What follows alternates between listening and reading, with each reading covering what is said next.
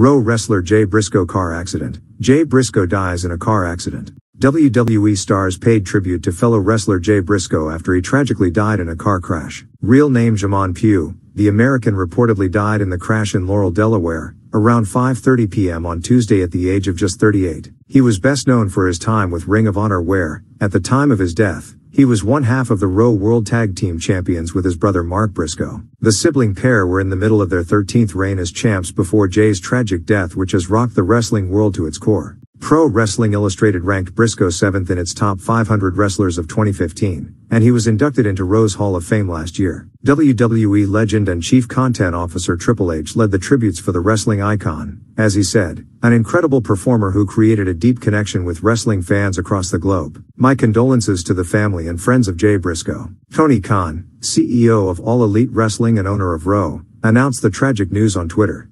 He wrote, Sadly, Jamin Pugh has passed away. Known to fans as Jay Briscoe, he was a star in ROH for over 20 years, from the first show until today. Jay and his brother Mark dominated ROH, reigning as champions to this day. We'll do whatever we can to support his family. Rest in peace, Jamin.